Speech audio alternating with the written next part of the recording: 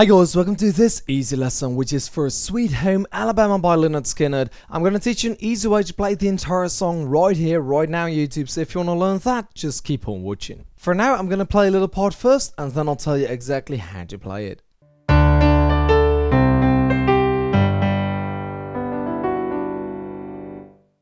Okay, so this song's actually really easy to play. Let's have a look above the piano for the chords. We've got D, C, and G. And if you don't know what that means, that's absolutely fine. I'm going to tell you all of the notes you have to play anyway. But if you want to learn a little bit more about that, please have a look in the description box down below. For now, the left hand is going to be playing octaves. So you play your uh, pinky and your thumb at the same time.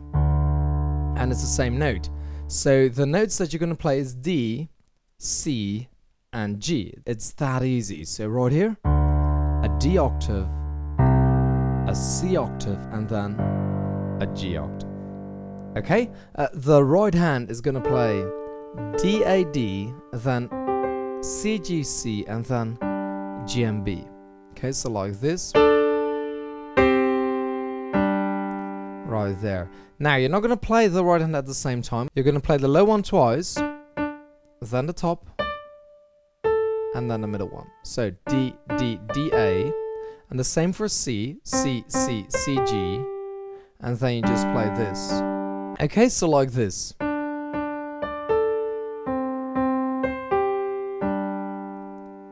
Okay, let's combine that with left.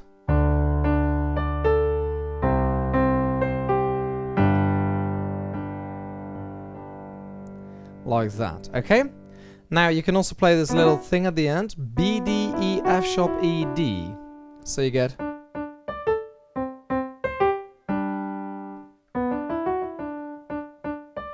etc. Okay, that's B, D, E, F sharp, E, D. So then, uh, so then the right hand together with left will be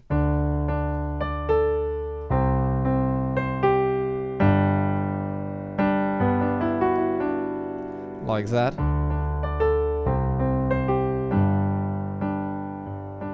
Okay. Now that's the first part you need to learn. After that, the chords are going to be the same, but we're just going to play those chords right here.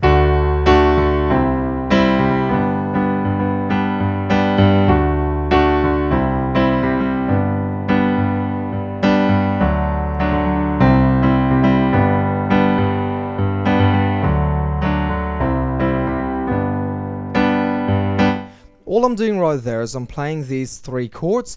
The G chord is being played twice as long as the other ones, okay? So the left hand is still playing a D octave, a C octave, and a G octave.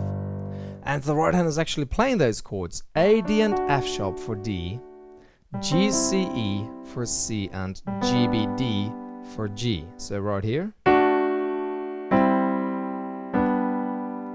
Like that. Okay, let's combine it with left. Like that. Now, the other option you've got for D is instead of playing A, D, F sharp, you could play F sharp, A, D. Okay, makes it sound a little bit lower, of course, and you get this.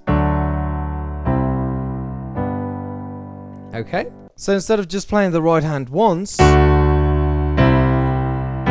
you might want to play the right hand twice.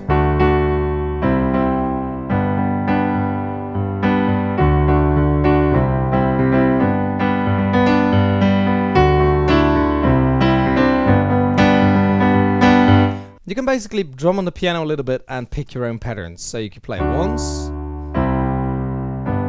or you could play the right hand twice, or you could play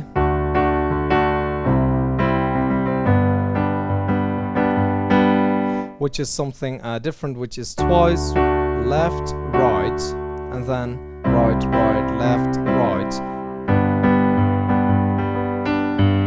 And, you know, what I'm basically doing is rolling these chords. So if you try that a little bit yourself, just keep on playing these chords and you will figure out different ways to play it and ways you actually like it. And that's basically it. These three chords make up the entire song. So I want to thank you so much for watching. Please remember to give this video a thumbs up right now if you like this lesson. Make sure you subscribe to the channel and all I've got left to say is keep playing.